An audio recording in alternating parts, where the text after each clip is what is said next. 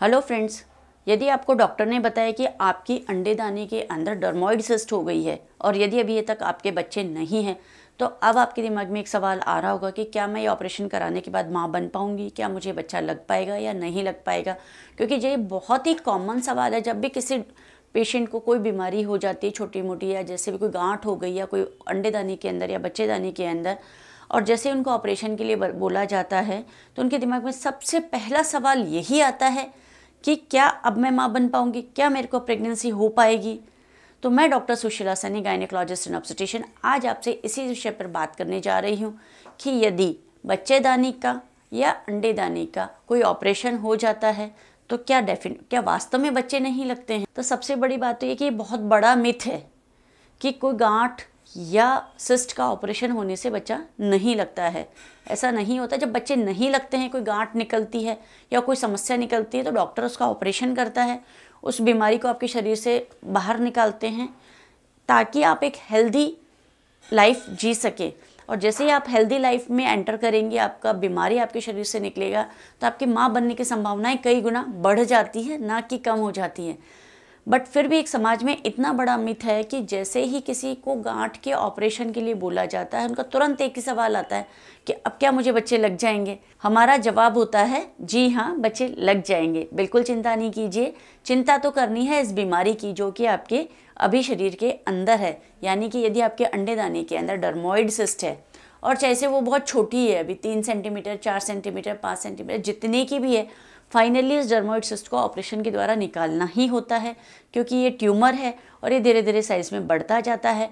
और जैसे जैसे ये बढ़ता जाएगा, इसके अपने साइड इफ़ेक्ट होते हैं और बहुत ही रेयर कंडीशंस में कैंसर की संभावनाएँ भी होती हैं। तो जैसे ही आपको पता चलता है कि आपके शरीर में कोई गांठ है तो आप उसका तुरंत ऑपरेशन करके इलाज करवा लीजिए। और जब भी ऑपरेशन किया जाता है तो जनरली दूरबीन से किया जाता है। और जब दूरबीन से ऑपरेशन किया जाता है तो यदि आपके बच्चे नहीं लग रहे हैं या बच्चे नहीं हैं तो डॉक्टर साथ ही साथ नलियों की जाँच भी कर लेते हैं और बच्चेदानी के नीचे से जो हिस्ट्रोस्कोपी होती है, दूरबीन की जाँच होती है, वो भी कर लेते हैं, जिससे कि आपको ये अश्योरिटी दे सके कि हाँ आपके माँ बनने की संभावनाओं में कोई कमी नहीं है। और बाई चांस वहाँ पे अगर कोई हमें प्रॉब्लम दिखती भी है कि कई बार कोई ट्यूब का कोई हिस्सा चिपका हुआ है, कोई ब्लॉकेज है या और कुछ है बच्चेदानी का रास्ता नहीं खुला हुआ है तो वो साथ के साथ उसे ऑपरेशन के दौरान उसे सही भी कर दिया जाता है। यानी कि डॉक्टर भी यही चाहते हैं कि आप माँ बन जाएँ, आप माँ बनने का सुख लें और आपको एक स्वस्थ बच्चा हो। हम कभी भी ये नहीं चाहते कि कोई ऑपरेशन होने के बाद आपको बच्चा ना लगे। आपसे ज़्यादा कोशिश हमारी होती है कि आपको एक स्वस्थ प्रेगनेंसी भी साथ में हम दे सकें आपकी बीमारियाँ दूर करने के साथ। तो जब भी आपको डॉक्टर ये सलाह देते हैं कि आपकी अंडेदानी में गांठ है, डर्मोइड सिस्ट है या ओवेरियन सिस्ट है या और कोई प्रॉब्लम है और जिसका ऑपरेशन ही एक इलाज है तो कभी भी ऐसे घबराएँ नहीं। हिचकिचाएँ नहीं, अपना इलाज ज़रूर करवाइए और डॉक्टर से खुलकर डिस्कस कीजिए। डॉक्टर हर सवाल का आपको जवाब देंगे और ये बिल्कुल ना सोचें कि ऑपरेशन होने के बाद माँ नहीं बन पाएँगी या बच्चा नहीं लग पाएगा।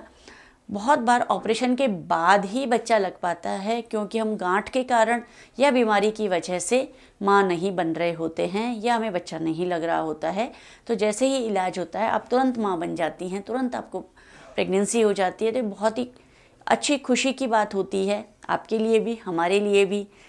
तो अपना इलाज करवाइए, स्वस्थ रहिए और ऐसे ही जग में खुशियाँ बांटते रहिए।